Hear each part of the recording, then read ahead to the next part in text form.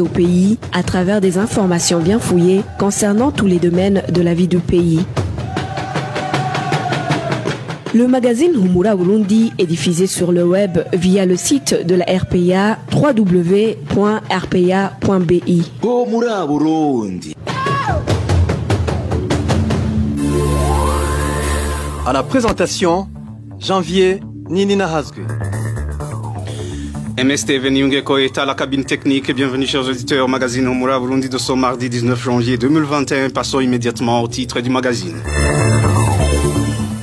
Les enseignants du lycée d'Omoaro réclament d'être dépistés à la Covid-19 après plusieurs cas d'élèves testés positifs à cette pandémie. Dans la direction communale de l'enseignement à Nyanzala, que nous sommes au site du pays, l'on parle de la corruption sexuelle pour avancer de classe. Enfin, les habitants de la zone Egatumba éprouvent de la peine à enterrer les leurs suite aux inondations qui ont envahi les cimetières habituels. Le développement des titres, c'est dans quelques instants.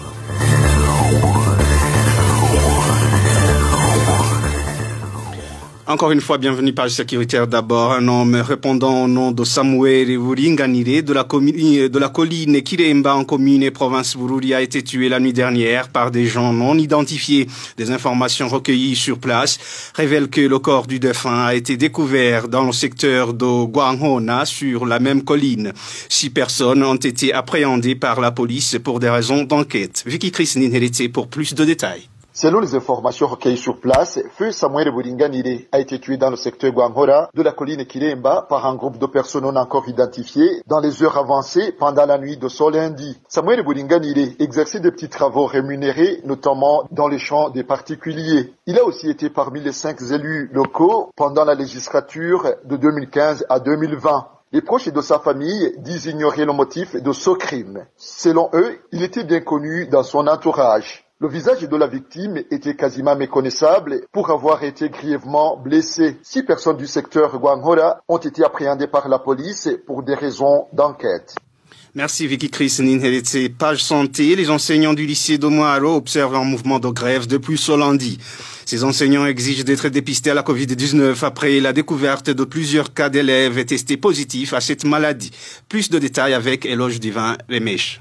Différentes sources de la RPA en province d'Omngaro font savoir que plus de 80 élèves du lycée Mngaro ont été testés positifs au coronavirus vers la fin de la semaine dernière. Malgré son nombre élevé de aucune mesure n'a été prise, raison pour laquelle les enseignants ont entamé un mouvement de grève pour demander d'être dépistés, comme l'indique cet habitant d'Omngaro. 80 élèves ont été testés positifs au coronavirus et certains ont été confinés à mairie de Bujumbura et à l'hôpital de Kibumbu. Malgré cela, les enseignants n'ont pas été dépistés et réclament des tests compte tenu des absences qui se remarquent en classe. Ils demandent qu'il y ait d'abord un dépistage sur tout l'établissement, c'est-à-dire de tous les élèves et enseignants, afin qu'il reste ceux qui seront testés négatifs.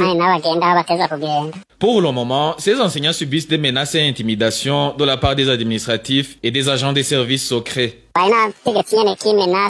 Certaines autorités commencent à menacer ces enseignants et les envoient les agents de la documentation pour les intimider. Personne ne sait que sera la suite.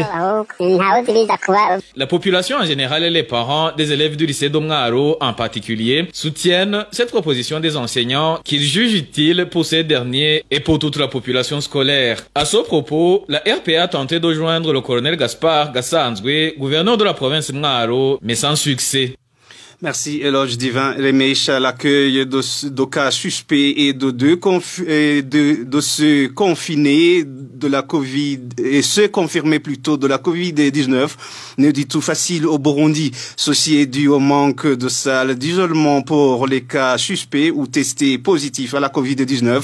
Un problème dont présente la plupart des hôpitaux de la mairie de Bujumbura. La majeure partie de, des cas suspects et confirmés sont ordonnés de se confiner à leur domicile, n'est-ce pas Walter Le manque de salles d'isolement pour les cas suspects à la Covid-19 et pour ceux confirmés sont parmi les grands problèmes des hôpitaux de la mairie de Bujumbura et certains de l'intérieur du pays. À cela s'ajoute le manque de l'équipe de dépistage de la Covid-19 à ces hôpitaux, comme l'indique son médecin. Ici chez nous, on ne fait pas le dépistage de la Covid-19. Nous recevons seulement ceux qui sont suspectés d'avoir atteint cette maladie.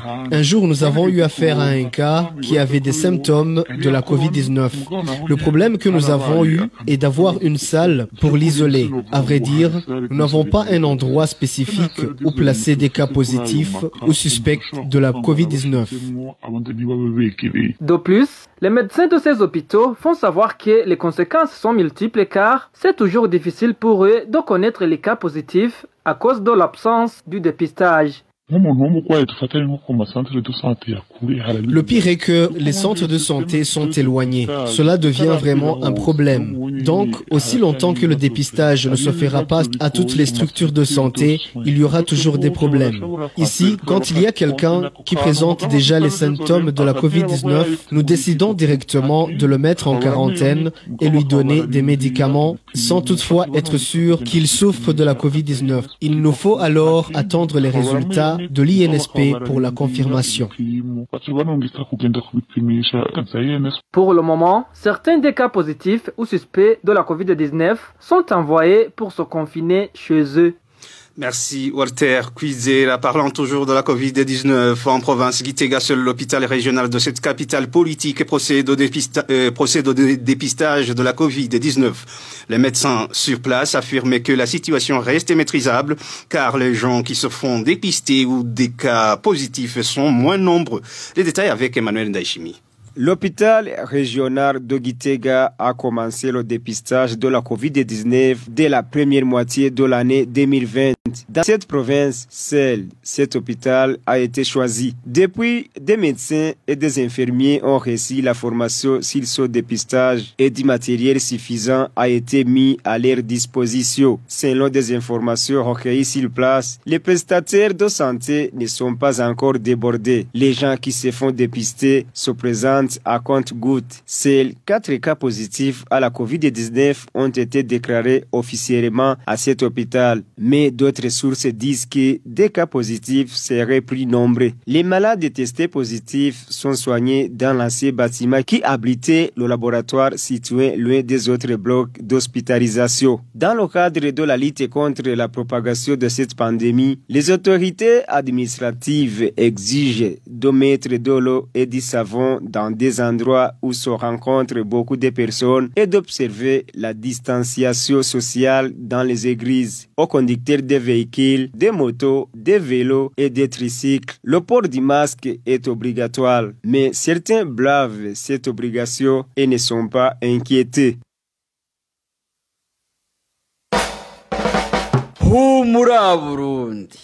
Page éducation à présent, la corruption sexuelle et pécuniaire auprès des élèves est l'une des principaux facteurs, euh, des principaux facteurs à l'origine de mauvais résultats à l'examen d'État au lycée communal de Nyanzalak. Les auteurs pointés du doigt sont surtout les enseignants de la section pédagogique qui prestent à cet établissement. Trésor Nyongabo nous fait le point. Cette forme de corruption qui consiste à obtenir de bons résultats en contrepartie d'une faveur sexuelle ou d'une somme d'argent est devenue monnaie courante au lycée communal de Nyanzalak. Les informations recueillies au sein des parents d'élèves de cet établissement font savoir que cette pratique se trouve sur toutes les lèvres depuis des années. Pour ce, le directeur de l'enseignement en province Nyanzalak a finalement décidé d'élucider les commérages afin d'en découdre avec ses agissements. Le nouveau finalement appris, le mentionné au cours des réunions. Par après, il a pris l'initiative d'effectuer une descente personnellement à cet établissement. Il a rassemblé les élèves des années terminales et leur a donné des bouts de papier afin qu'ils déterminent les raisons probables de leurs échecs. Après le sondage des élèves, le directeur provincial a décidé de jouer carte sur table et les résultats ont révélé que les enseignants de la section pédagogique viennent en tête dans cette pratique. Ils ont lu les morceaux de papier en pointant du doigt sur tel enseignant avait des relations sexuelles avec tel élève, tel élève collecte de l'argent sous l'instigation de tel enseignant. Presque tous les noms des enseignants de la section pédagogique revenaient sur chaque bout de papier déroulé. Certains parents d'élèves du lycée communal de Nyanzalak déplorent que cette perversion soit en grande partie à l'origine des mauvais résultats des élèves finalistes du cycle secondaire et surtout ceux de la section pédagogique. Ça faisait un bout de temps que nous nous demandons la raison pour laquelle les élèves de la section pédagogique ont de bonnes notes en classe, soit 80%, mais qu'ils échouent à l'examen national. Les résultats de ce sondage ont montré que presque tous les enseignants de la section pédagogique forcent soit les filles à avoir des relations sexuelles avec eux, soit soutirer de l'argent aux garçons, ou encore les deux à la fois. Le nom qui revenait souvent était celui du préfet des études, mais après, les autres enseignants l'ont dissuadé de déposer sa démission. Quoique le préfet des études ait démissionné, les parents d'élèves du lycée communal de Nyanzalak demandent que les autres enseignants qui ont un comportement similaire soient également sanctionnés afin d'éradiquer ce phénomène. C'était un reportage signé Trésor Nyongabo et le personnel enseignant en commune de la province Gitega s'insurge contre le comportement du directeur communal de l'enseignement. Ce dernier dénigre les enseignants et leur profère des injures non seulement devant les élèves, mais aussi devant la population. Ces enseignants demandent à cette autorité de se ressaisir et de respecter les règles d'éthique et de déontologie professionnelle. Onésime Dushimagizé pour plus de précisions. Lors d'une réunion qui a été organisée vendredi de la semaine passée par le directeur communal de l'enseignement en commune de Guichouvi à l'intention du personnel enseignant. Ce directeur a dénigré certains enseignants, les qualifiant des incapables, d'autres des rebelles. Ce qui a plus touché ces enseignants, comme certains d'entre eux le soulignent, c'est qu'ils ont été injuriés en présence des représentants des élèves et des élus locaux. On se demande si la présence des délégués de classe et des élus collinaires était nécessaire dans cette réunion. Le et l'inspecteur communal de l'enseignement ont dénigré les enseignants, arguant qu'ils sont des incapables. Certains enseignants ont été qualifiés de rebelles, notamment ceux de l'Ecofo Gasseni et Ruyengo.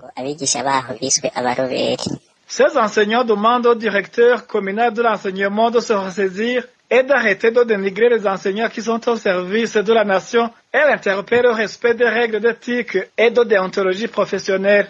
Nous le mettons en garde qu'il cesse de dénigrer les enseignants et qu'il sache à qui il s'adresse et comment le faire. On ne peut pas organiser une réunion du corps professoral en présence des élèves et des élus locaux. Ça ne se fait pas administrativement. Qu'il cesse donc de sous-estimer les fonctionnaires qui sont au service de la nation. Ces enseignants ne comprennent pas pourquoi ils sont qualifiés par le directeur communal de l'enseignement en commune Guichoui des incapables, alors que cette commune a pris la deuxième place lors des résultats scolaires de l'année passée. À ce propos, nous avons essayé de joindre le directeur communal de l'enseignement en commune de Guichoui, mais sans y parvenir. Retrouvez les différentes productions de la RPA sur Facebook, YouTube, Twitter et sur www.rpa.bi.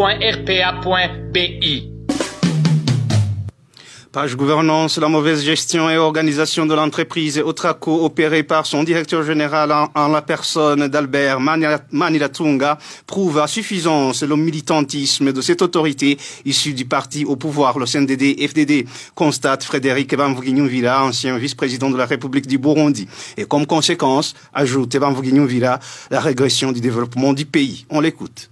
Le parti CNDD-FDD, il veut absolument satisfaire ses agents, que ce soit de bons ou de mauvais gestionnaires. La mauvaise gestion des agents du CNDD-FDD est une gestion qui ne dépend pas de ses agents. Mais cette mauvaise gestion est orchestrée à partir du sommet. Il a une politique du sommet selon laquelle il faut tenter de caser toutes les personnes qui ont aidé le CNDD-FDD. Ça, c'est un fait. Maintenant, il ne regarde pas les compétences, mais non, il regarde si vous faites partie du système.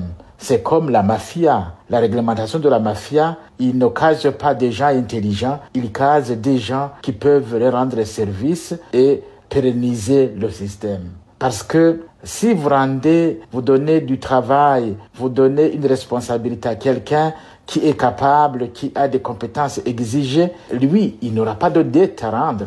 Mais il n'a pas reconnaître une dette parce qu'il rend des services, parce qu'il est compétent. Il est payé parce qu'il est compétent. Mais quand vous donnez un travail, euh, une responsabilité, une haute responsabilité à quelqu'un qui n'est pas compétent, c'est une dette que vous imposez à cette personne parce qu'elle n'étant pas capable et elle doit vous reconnaître, elle doit accepter que c'est vous le patron. Donc ça veut dire que vous allez l'utiliser comme un agent qui peut réaliser tout ce que vous lui demandez parce que lui n'a rien à vendre. Et voilà comment l'État burundais fonctionne aujourd'hui. Ce n'est pas uniquement Albert Maniratunga, c'est bien d'autres. Maniratunga, euh, il a ses capacités intellectuelles. Mais vous ne pouvez pas, comme personne, agir en dehors du système qui vous donne du travail. Ce qu'il fait, ce n'est pas uniquement lui qui le fait, c'est fait par tout le monde. C'est comme cela que le système fonctionne. C'est comme cela que le pays est organisé. C'est pour cette raison que le pays devra absolument sombrer. Parce que quelque part, ce n'est pas en train d'être organisé pour qu'il puisse survivre. C'était Frédéric Villa, ancien vice-président de la République du Burundi. Page environnement pour clore ce magazine. Et les habitants de la zone Gatumba n'ont plus où enterrer les leurs, euh, non plus où enterrer les leurs trépassés puisque les cimetières ont été envahis par des inondations. Ces habitants indiquent qu'ils sont alors obligés de parcourir de longues distances pour, pour atteindre le cimetière situé en zone Rukaramu. C'est un reportage signé Emmanuel Nyungeku.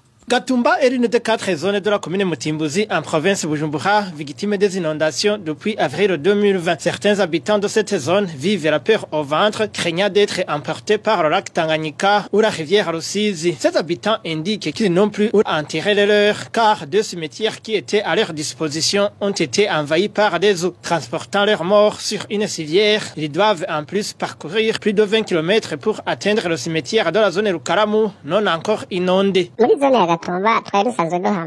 La zone Gatumba compte des cimetières. Le premier se trouve sur la troisième transversale qui mène vers la colline Vugizo et le deuxième se trouve dans la localité d'Okagadzi près de la Rusizi. Ces deux endroits sont pour le moment inondés. Lorsqu'il y a un membre de la famille qui meurt, on doit faire 12 km en quittant Gatumba vers Chanik. De Chanik vers la route de l'aéroport, on effectue une distance de 9 km en plus de 3 km parcourus pour arriver au quartier Kigwati 2 où se trouve le cimetière de la zone Lukaramu. Il est très difficile d'enterrer un mort. Ces habitants demandent d'être délocalisés. Pour la majorité de la zone Gatumba, nous utilisons encore des civières. Imaginez-vous quitter Gatumba vers Lukaramu, transportant un corps sur une civière. C'est vraiment un problème grave. Nous demandons de délocaliser les habitants des collines touchées par ces inondations, car nous sommes dans des conditions difficiles. À ce propos, Simon Boutoyi, administrateur de la commune Mutimbuzi, indique que les travaux d'aménagement de l'espace se trouvant en zone Maranvia ont déjà commencé. Cette autorité ajoute que ce terrain accueillera 500 familles sur plus de 2000 victimes de ces inondations. Et c'est par ce reportage d'Emmanuel Nyungeko que nous mettons fin au magazine Humra Burundi de ce, ce, mardi 19 janvier 2021. Merci pour votre aimable écoute. Merci à toute l'équipe de la rédaction pour la collecte et le traitement de toutes ces infos. Merci à MST Nyungeko pour la bonne collaboration technique. À la présentation, vous étiez avec Janvier Ninina Hazoué. Passez de bons moments chez vous. C'était le magazine Humura Burundi un magazine comprend pour relier les Burundais en exil et ceux toujours au pays à travers une information de qualité.